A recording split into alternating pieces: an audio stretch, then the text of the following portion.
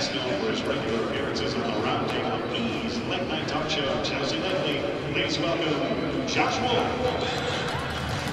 Got a applause. People know.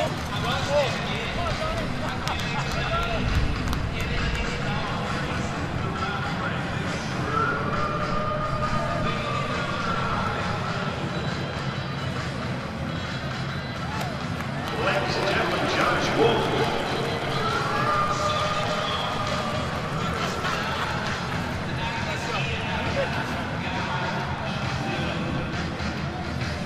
Go.